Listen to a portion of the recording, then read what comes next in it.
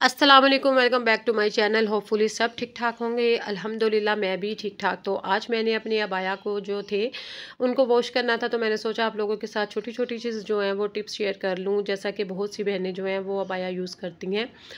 और यहाँ पर मैंने ना अपने अबाया को अभी बहुत ज़्यादा गंदे नहीं थे, लेकिन आप लोगों को पता है कि जितनी डस्ट होती है, देखने में तो लग रही होती हैं साफ़, लेकिन यूज़ करने से ना डस्ट मट्टी वगैरह होती है तो मैंने इनको निकाला, मैंने सोचा कि इनको ना आज वॉश करूँ।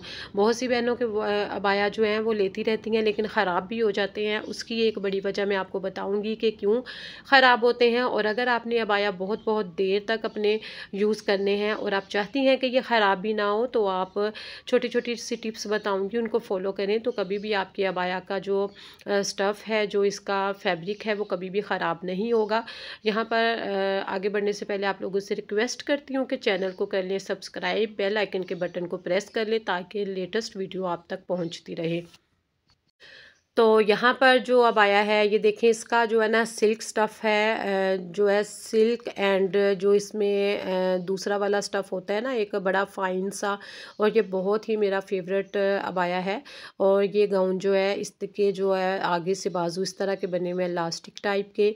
बाकी मुझे ज़्यादा पर्सनली फ़्रॉक यानी कि बन टाइप पसंद है, और वो भी मैं आप लोगों के साथ शेयर करूँगी। अभी दो और पड़े हैं, लेकिन वो बिल्कुल अनटच हैं, और मैंने उनको यूज़ नहीं किया तो वो साफ़ थे तो सोचा इन उनके साथ मैं आप लोगों को, उनको वॉश भी कर लेती हूँ और आप लोगों के साथ शेयर भी कर लेती हूँ।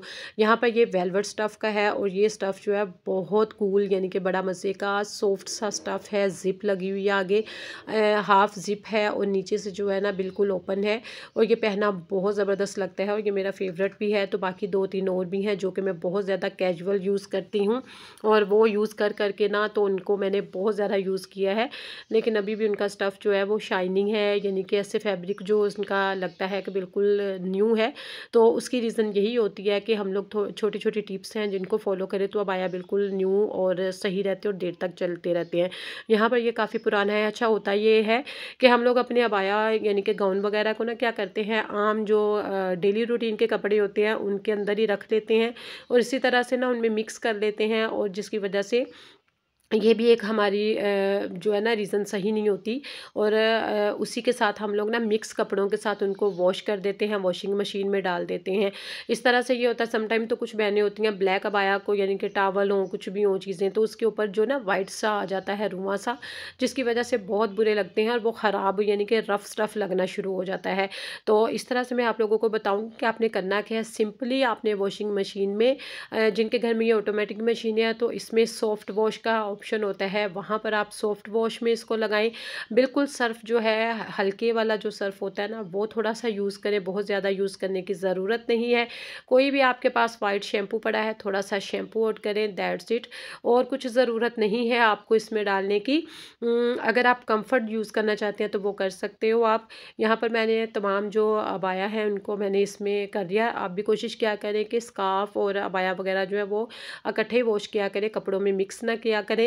बहुत सी बहनों के कुछ अबायाज़ ऐसे होते हैं कि वो बिल्कुल उन्होंने न्यू लिए होते हैं, लेकिन क्या होता है कि जिनके धागे निकलना शुरू हो जाते हैं, वो बड़े अजीब से फील होते हैं।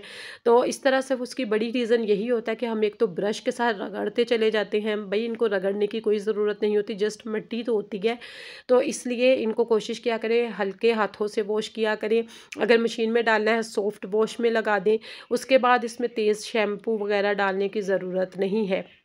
आपके अबाया जो हैं वो बिल्कुल सही रहेंगे और इस, इसको सिंपली मैं इसी तरह से जब ये ड्रायर होकर निकल जाएँगे तो इनको मैं हैंगर में फैला दूँगी। इससे होता है कि उनकी शेप ख़राब नहीं होती और आपके जो है ना अबायाज वो सही रहते हैं। जब वो सूख जाएँगे, उनको मैं हल्का सा जो है ना, आयरन को रख के हल्के पे तो उसको मैं सॉरी, वो आयरन कर लूँगी और फिर इनको मैं अपनी कबड में रख लूँगी। तो होपफुली आज की ये जो वीडियो है छोटी छोटी टिप्स हैं अबाया के मुतलिक, आपको अच्छी लगी होंगी अच्छी लगी होंगी तो लाजमी अच्छे अच्छे कमेंट करना मत भूलिएगा।